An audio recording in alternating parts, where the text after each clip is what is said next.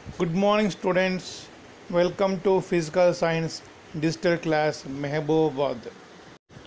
This is Sunil, PGD Chemistry, TSMS Kuravi.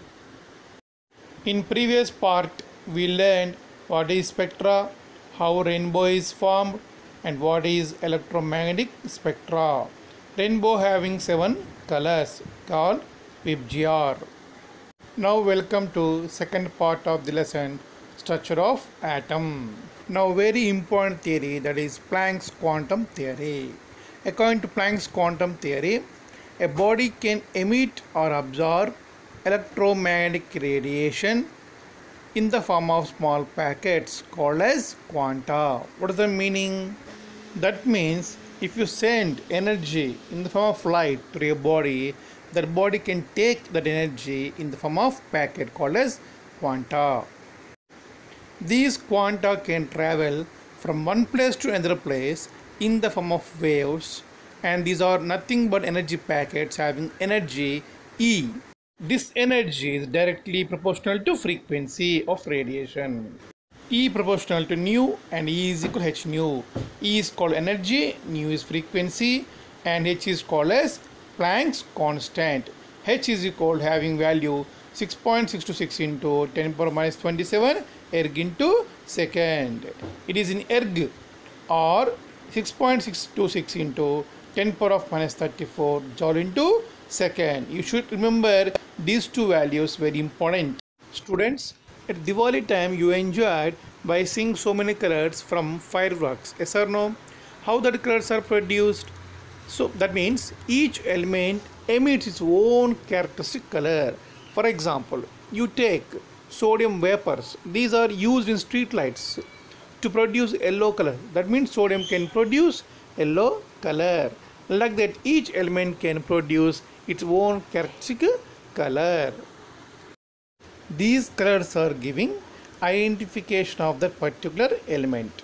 And also these colors having certain discrete wavelength of the light. They are called as uh, line spectrum of that element. Like this, Bohr succeed to explain the structure of atom by taking hydrogen line spectrum. Now let us start Bohr's atomic model. First point is electrons revolve around the nucleus in circular form called as orbit. And second one is the energy of electron is constant as long as electrons revolve in a particular orbits. These orbits are called as stationary orbits. Okay, let us. These two are explained by taking one example. Now, in this diagram, the middle red color one is called as nucleus. It containing protons and neutrons. Protons having positive charge and neutrons having no charge. That's why nucleus having positive charge. Around this nucleus, we have green color circular forms. Okay, these circular paths are called as orbits. In these orbits, electrons are revolving. That is first point.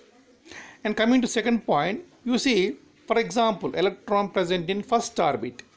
Okay, as long as electron revolving in that orbit only, the energy of electron is not changes. These stationary orbits are denoted by 1, 2, 3 or KLM etc. That is third point. Fourth one is when electron jump from higher orbit to lower orbit, energy releases. When electron jump from lower orbit to higher orbit, energy absorbs. For example, if electron present in second orbit and the electron wants to jump to first orbit. Second orbit means having more energy and first orbit means having less energy. Therefore, electron jumps from second orbit to first orbit. Then what happens? Energy releases. So, E2 minus E1 is equal h nu. That means the, the change in energy is equal to h nu which is called as Planck's constant and nu is called as frequency. These are mainly four postulates present in Bohr's atomic model. Thank you. In next part we will continue remaining lesson.